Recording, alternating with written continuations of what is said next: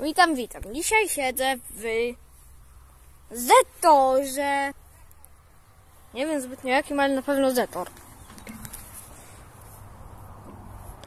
I ogólnie. Ja Zetor rzadko widzę, więc mniej więcej nie wiem gdzie co jest, ale tutaj jest stacyjka bez tutaj już w ogóle. Tutaj to jest tak śmiesznie troszeczkę zrobione że po prostu tutaj jest jajcha od biegów chyba. Ładnie. Coś mi się tak wydaje. I właśnie. Kierownica. Ała. Metalowe siedzenie. Kierownica jest tak wielka, że po prostu jak się wysiada, to prawie nie da się wysiąść. No właśnie. To jest ten problem tutaj. I teraz tak. Tutaj to jest, nie wiem w ogóle skąd on tutaj jest, ale miejsca są na pewno na akumulatory. Na akumulatory są hamulce. Hamulce, tak.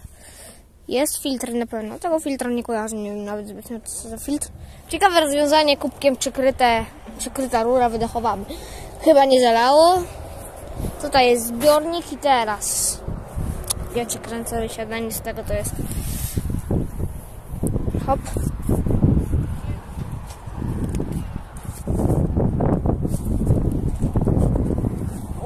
Dobra, udało mi się zejść. No to tak. Zetor, zetor. Opory są tutaj takie zamontowane właśnie, nie wiem czemu. I może nawet chyba napędy 4 na 4 nie ma. Mam.